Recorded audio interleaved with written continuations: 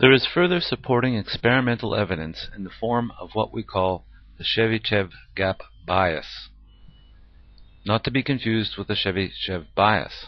The Chebyshev bias is a small bias among the primes where primes uh, modulo 4 equaling 3 are slightly more frequent than those equaling 1. The remarkable fact is that the S model is completely unbiased to this form. We leave it to the reader to show this. And yet we have the remarkable calculation of Landau and Ramanujan. and we believe now that all these uh, Euler-like uh, prime counting functions are legitimate. So what's happening? The bias constants are of the order of the twin prime constant, which is of the order uh, of occurring at about 1 over p with respect to the primes.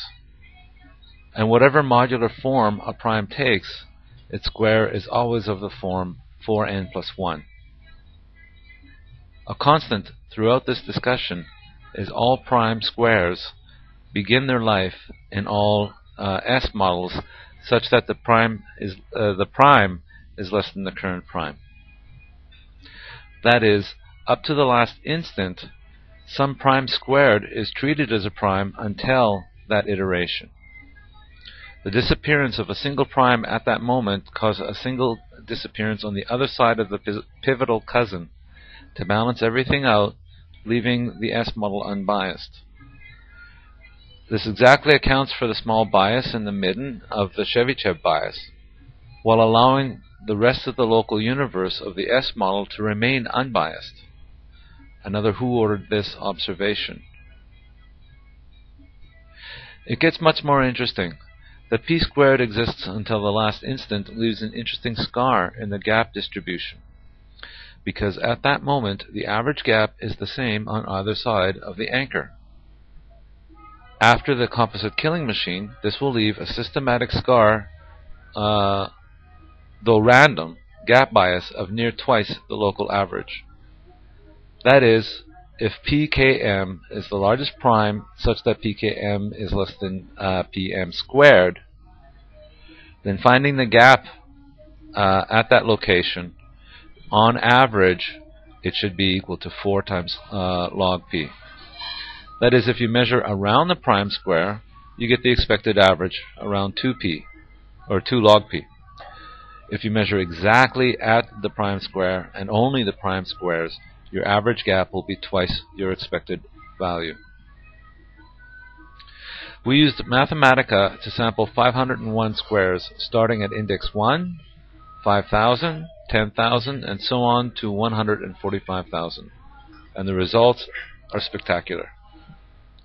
The model gives no hint to the strength of the effect, but it is very strong.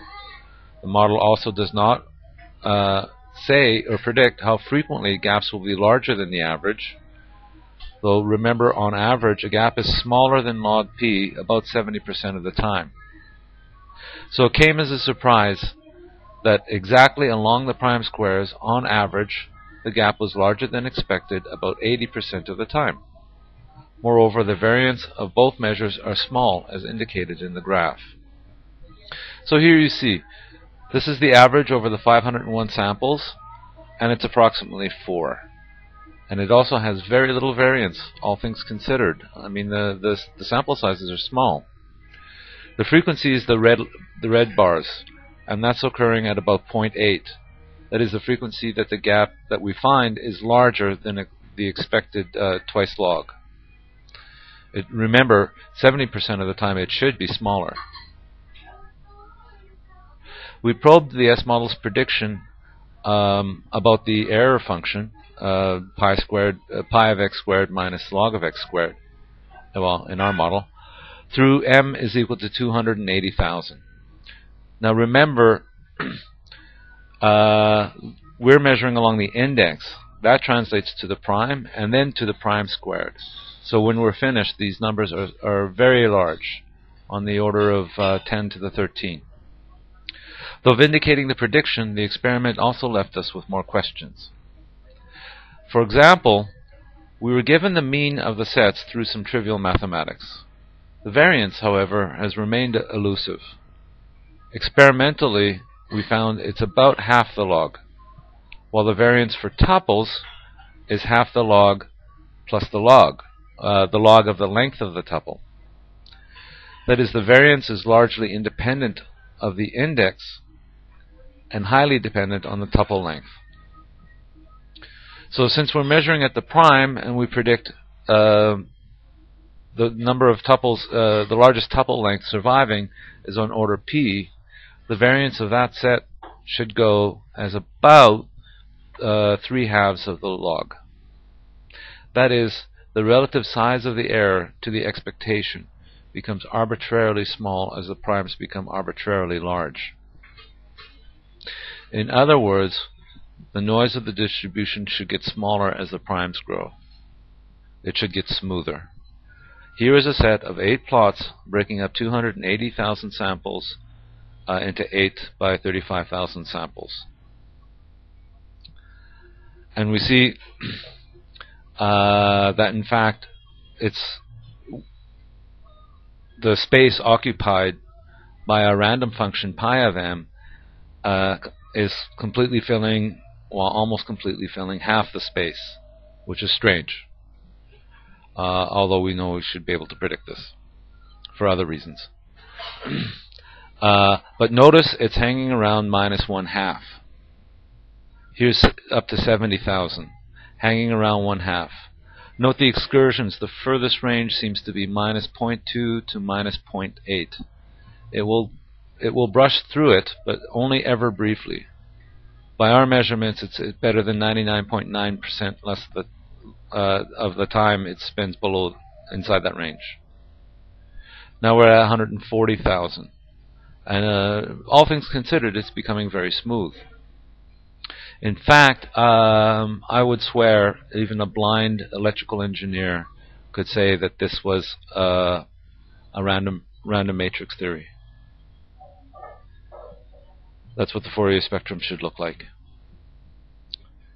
So here we're at 245,000 and growing, and it's getting smooth.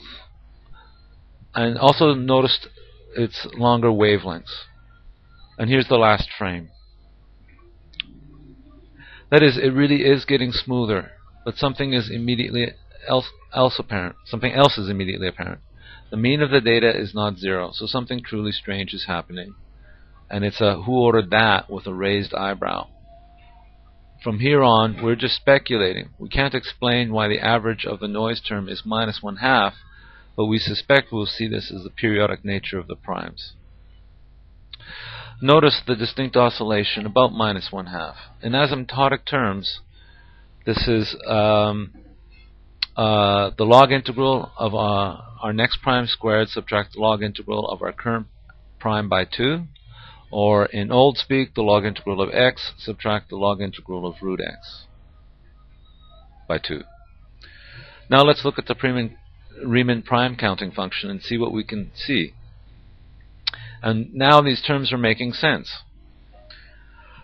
What we have to explain here is the uh, the sum of the terms that using the zeta zeros. We can rewrite this as our error term and some other terms. And this we leave uh, shows us that we have unconditionally that we can squeeze the zeta term into these bounding regions. And it might give us a hint about uh, why we have these oscillations. However, our constructive framework for the proofs is random valued and unbiased between the bounds. This while pi of x seems stuck around our lower attractor. In 1914, Littlewood proved that pi of x crosses the log integral infinitely often. These crossings occur at what are called Skewes numbers, and very little is known about them except they are huge. The best estimate for the smallest example is about 10 to the 316. We think a deeper understanding of these numbers and their distribution may lead to a deeper understanding of number theory. Our model predicts an infinite number of crossings in the sense it is an unbiased random model in which the log integral is the expected value of pi of x. It should spend as much time above the mean as below on some scale at least. However, it makes no assumptions to the frequency of crossings except that, that is random valued and expected long-term average should tend to zero. Let skn be the nth Skewes number. For convenience, set sk0 equal to 1. That is, we'll, we'll say there's a Skewes crossing at 1 by construction. So here we, we make an error function for the primes at the square and now we build an averaging function and we're only we're going to measure around uh, Skewes numbers. Uh, so n and g are integral values. n is the starting Skewes number and g is the delta Skewes numbers away. We conjecture that given any epsilon positive and much less than a half, there exists an n capital such that the absolute value of our averaging function is less than epsilon for every n uh, greater than this capital N. We have no idea how large it need be, perhaps in the millions, or even scales of Skewes number squared or worse, or even maybe tiny. We don't know. This while on the scale of single Skewes increments, we should see it averages to minus a half or plus a half, depending if n is even or odd. So here's what we think is happening. Uh, the center dark line is the log integral. The blue lines on either side is uh, plus and minus the log integral of root x. Um, we call the log integral the backbone. The red lines are exactly halfway between. They're the log integral of root of x by 2. And uh, we call them subspines. And here comes the primes. They're moving along and spontaneously jump. Then spontaneously jump and keep doing what they do. And you can see how that would build an average close to zero. On a final note, we want to show our results for why we don't need to sample between the squares. We've only sampled at the squares. We can already suppose this region is close to linear following our proof. But how linear we still can't say. So we tried to measure it.